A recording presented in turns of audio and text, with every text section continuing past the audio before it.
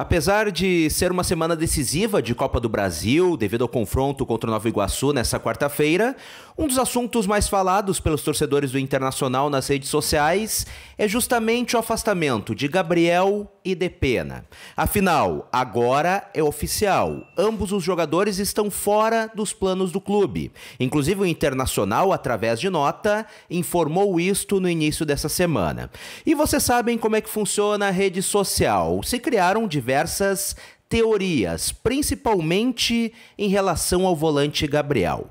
Já foi dito em rede social, inclusive por algumas pessoas que se dizem setoristas do Internacional, de que Gabriel foi afastado, ficou fora dos planos, porque está fazendo festa em Porto Alegre. Outros já disseram que é porque ele está tumultuando o vestiário, porque não aceitou a reserva, não está gostando uh, de não receber oportunidades por parte do técnico Eduardo Cudê.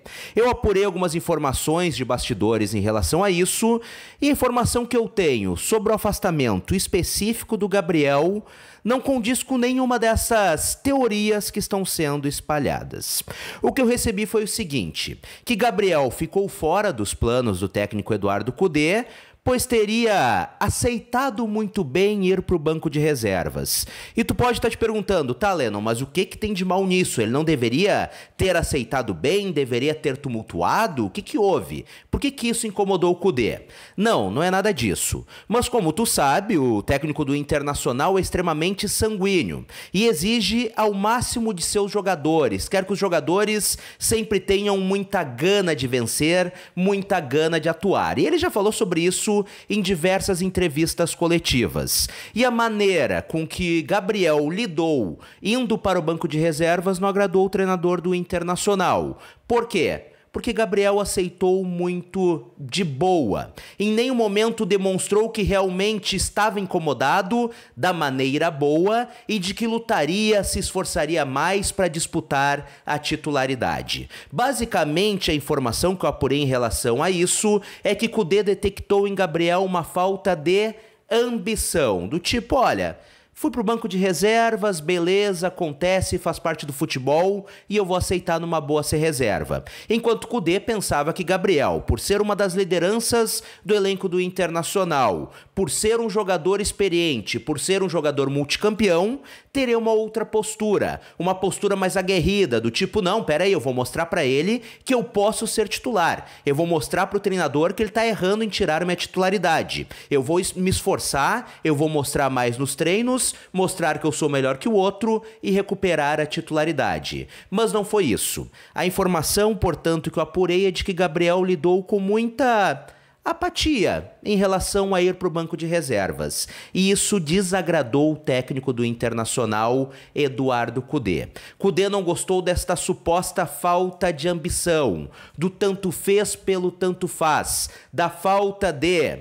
Uh, entre aspas, vontade de Gabriel de mostrar mais serviço. E por isso acabou ficando fora dos planos por isso, agora também o Internacional comunica que não conta mais com ele. Em relação ao Depena, o que eu consegui apurar é que realmente foi a parte técnica junto com também a limitação do número de estrangeiros no futebol brasileiro. Lembrando, no Brasileirão aumentou de 7 para 9, mas o Inter tem um número alto de estrangeiros no elenco realmente, e Depena no ano passado fez um ano muito abaixo, então que este é o motivo para o Internacional não contar mais com o jogador. Mas enfim, esta é a realidade que apurei nos bastidores do Internacional sobre a situação de Gabriel. Nada de festa, nada de noite, nada de tumultuar o, o vestiário devido a ser uma das lideranças, mas justamente por uh, o Kudê ter notado que ele não estava na mesma sintonia do restante do elenco, não estava na mesma sintonia da filosofia de trabalho aguerrida, de sempre buscar melhorar, de sempre buscar crescer,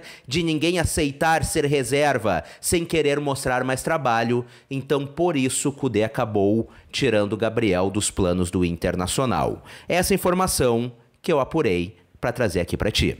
E também se criou para a partida desta noite pela Copa do Brasil uma expectativa muito grande pela estreia dos reforços do Internacional, Fernando, Borré e Thiago Maia. Thiago Maia, que inclusive foi o último reforço anunciado pelo Inter nesta janela de transferências. Bom, Fernando e Borré viajaram, mas Thiago Maia sequer viajou com o restante da delegação do Internacional. Ficou em Porto Alegre para justamente se adaptar fisicamente ao Internacional tão intenso do técnico Eduardo Cudê. Thiago Maia vinha treinando no Flamengo, mas não vinha jogando, ou seja, está sem ritmo de jogo. E alguns colorados têm questionado nas redes sociais sobre quando o Thiago Maia então vai estrear com a camisa do Internacional. E bom, o volante deve estrear com a camisa do Inter no início do próximo mês, no início do mês de abril. Isto porque ele não pode atuar pelo Campeonato Gaúcho, o regulamento não permite que ele atue, assim como Borré e Fernando, e se o Inter se classificar hoje na Copa do Brasil, só joga pela competição lá no mês de maio novamente. Portanto, Thiago Maia deve estrear com a camisa colorada no dia 3 de abril, no início da Copa Sul-Americana. Esta deve ser a data em que Thiago Maia vestirá pela primeira vez oficialmente a camisa do Internacional. E falando sobre a partida de hoje à noite contra o Nova Iguaçu, o chato Nova Iguaçu, segundo colocado no Campeonato Carioca, à frente de Botafogo, Fluminense e Vasco da Gama. Então, sobre a partida de hoje, duas informações. A primeira delas, que todo mundo já sabe, é que o Nova Iguaçu deve poupar alguns titulares. Isto porque eles estão no mata-mata do Campeonato Carioca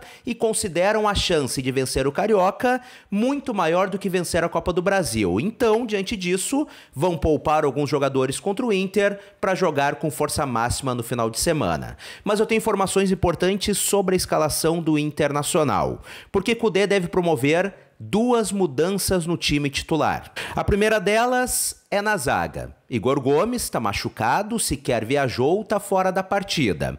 E Cudê tem duas opções para reposição: Robert Renan e também Gabriel Mercado. Mas quem deve ser titular será Robert Renan. Isso porque Mercado está há quase um mês sem jogar, está voltando agora a ficar à disposição do Internacional, mas como está sem ritmo de jogo e se trata de uma partida importantíssima, mata-mata, vida ou morte na Copa do Brasil, portanto Robert Renan deve ser titular na noite de hoje.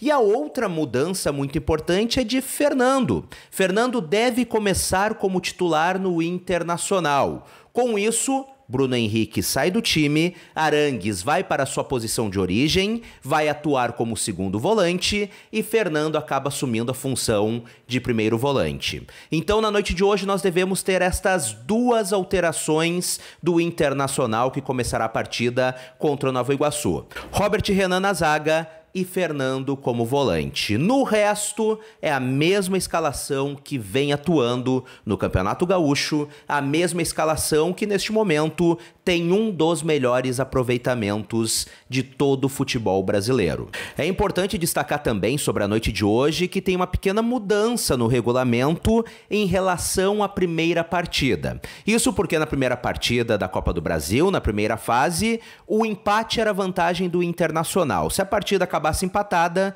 o Inter classificava. Dessa vez não tem isso. Se a partida entre Inter e Nova Iguaçu acabar empatada, vai para os pênaltis. É claro, o Inter tem muito mais time do que o Nova Iguaçu, vive grande momento, o time está encaixado, a tendência é de que o Internacional vença, até com certa tranquilidade. Embora eu repito, o Nova Iguaçu vem bem no Campeonato Carioca. Porém, é bom deixar claro que tem esta pequena mudança no regulamento entre a primeira e a segunda fase. O empate já não serve mais para o Internacional, somente a vitória na noite de hoje. E antes da gente encerrar esse papo, eu te convido a comentar por aqui. Primeiro, o que, que tu acha dessas mudanças no Internacional para a partida contra o Nova Iguaçu? E também estes afastamentos de Gabriel e Depena. Qual a tua opinião em relação a essas duas situações? Comenta por aqui e vamos trocar aquela ideia bacana de sempre.